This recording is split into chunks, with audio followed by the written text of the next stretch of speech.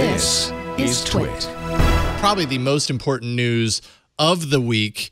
Uh, no doubt, people are very excited about the fact that the hamburger emoji is now correct. The right way around. The right way around. The cheese is no longer on the bun; it's now on the burger. We can all sleep at night. Let's not let's not deny this is a crucial, even global issue. Like, I for one am glad that this has been dealt with because it's been hanging over us for low these many days.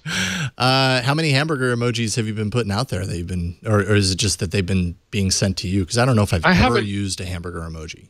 I actually had neither. Uh, I like to eat them, but the Yeah. emoji I don't feel that strongly about.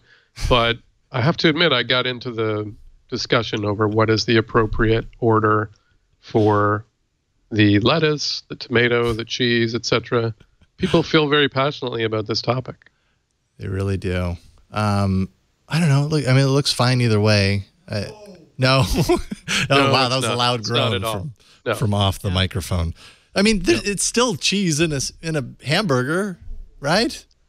Are, are we rehashing this? No, we don't need to rehash it. I was like, Although- is, are we going there? no, no, we don't really need to. Uh, sorry, I didn't mean to take it there. Although I, I do want to point out uh, another part of this emoji gate, if you if it, it does qualify as a gate, is this whole beer thing, uh, which I hadn't noticed, but once I noticed the correction that they made to the beer emoji, uh, I realized like, what were they thinking? How do you have foam on the top of a beer stein, a beer mug, with no beer up to the top of the Fair point.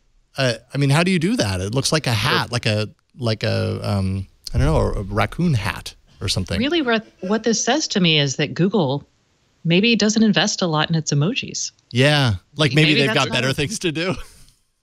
Maybe of their many messaging platforms, they still are kind of like, yeah, let's work on those instead.